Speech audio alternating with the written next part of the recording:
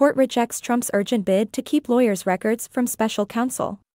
A federal appeals court has rejected Donald Trump's bid to prevent special counsel Jack Smith from obtaining key documents from a lawyer for the former president related to the handling of sensitive national security records discovered at Trump's Florida home last year.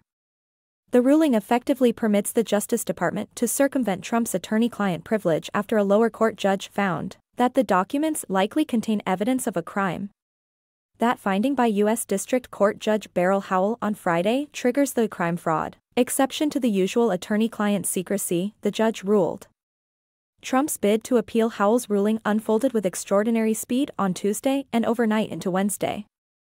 After setting middle-of-the-night deadlines for filings in the dispute, a three-judge panel of the D.C. Circuit Court of Appeals on Wednesday afternoon declined Trump's request for a stay of Howell's ruling, ordering attorney Evan Corcoran to provide records to a Washington-based grand jury assigned to the special counsel's probe.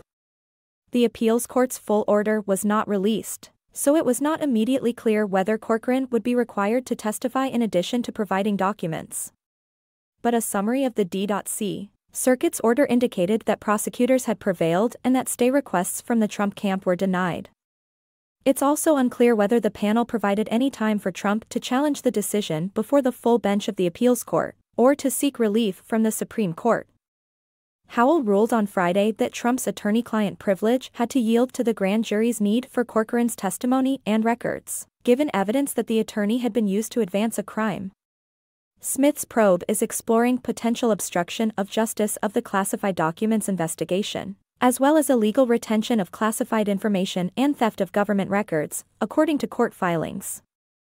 The appeals court's order on Wednesday, from Judges Cornelia Pillard, J. Michelle Childs and Florence Pan, didn't identify Corcoran or the case at issue but made clear that the government was on the winning side of the case in Howell's court, and in the appeals court's new ruling,